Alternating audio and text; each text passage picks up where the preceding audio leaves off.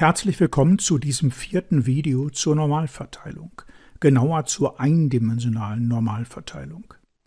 In diesem Video geht es um die Momente dieser Verteilung, also um die Erwartungswerte von Potenzen einer Zufallsvariablen, die normal verteilt ist. Wichtig ist hier nur die Standardnormalverteilung. Besitzt eine Zufallsvariable x eine Standardnormalverteilung, so ist der Erwartungswert jeder Potenz von x mit ungeradem Exponenten gleich 0 und für jede natürliche Zahl k ist der Erwartungswert von x hoch 2k gleich dem Produkt der ungeraden natürlichen Zahlen von 1 bis 2k minus 1, was man mit Hilfe des Produktzeichens auch so schreiben kann. Insbesondere ist also der Erwartungswert von x gleich 1 und der Erwartungswert von x hoch 4 ist gleich 3. Für den Beweis bezeichne phi die Dichte der Standardnormalverteilung. Damit ist für jede natürliche Zahl n der Erwartungswert von x Betrag hoch n, also das sogenannte n-te absolute Moment von x, gleich diesem Integral. Dieses uneigentliche Integral kann man mit Hilfe der Gamma-Funktion, die gleich noch ins Spiel kommt, ausrechnen, aber für uns ist an dieser Stelle nur wichtig, dass ein endlicher Wert herauskommt. Damit existiert der Erwartungswert von x hoch n für jedes n größer gleich 1. Teil a folgt dann unmittelbar aus Symmetriegründen, denn die Dichte phi ist symmetrisch um 0.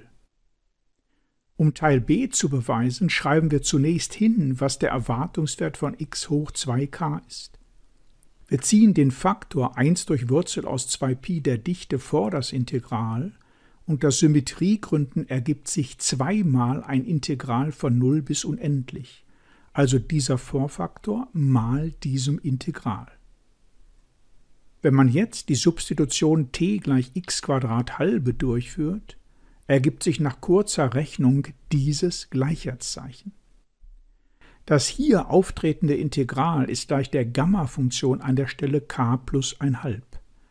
Zur Erinnerung, die Gamma-Funktion, zu der ich ein eigenes Video gemacht habe, ist für positives u durch dieses uneigentliche Integral definiert.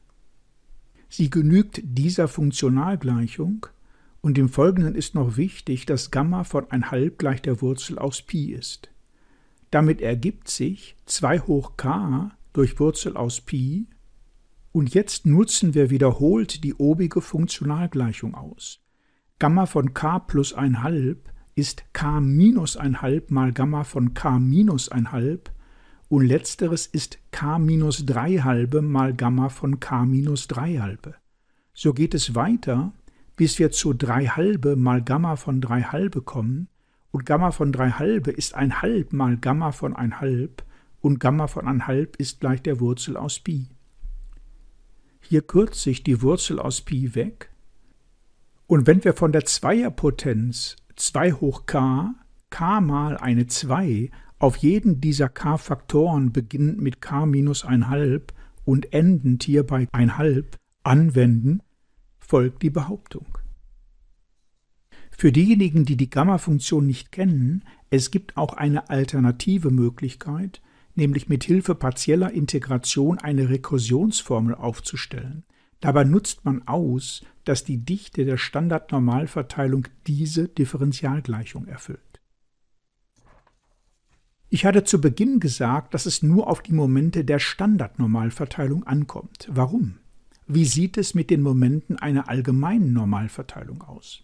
Nun ist y eine Zufallsvariable mit einer Normalverteilung mit Erwartungswert μ und Variant Sigma Quadrat, so besitzt y die gleiche Verteilung wie Sigma mal x plus μ, wobei x standardnormal verteilt ist. Damit ist für jede natürliche Zahl n der Erwartungswert von y hoch n gleich dem Erwartungswert von Sigma x plus μ in Klammern hoch n. Dabei habe ich zur besseren Unterscheidung sowohl runde als auch eckige Klammern verwendet. Rechnet man den Ausdruck innerhalb der eckigen Klammer nach dem allgemeinen binomischen Lehrsatz aus, so ergibt sich der Erwartungswert dieser Summe. Jetzt nutzen wir die Linearität der Erwartungswertbildung aus und ziehen die Summe sowie alle Konstanten vor den Erwartungswert. Übrig bleibt der Erwartungswert von x hoch l, den wir schon kennen. Das n-te Moment von y ist also eine Linearkombination der ersten n Momente von x. Ja, damit sind wir auch schon am Ende dieses Videos angekommen. Ich bedanke mich fürs Anschauen und sage Tschüss bis zum nächsten Video.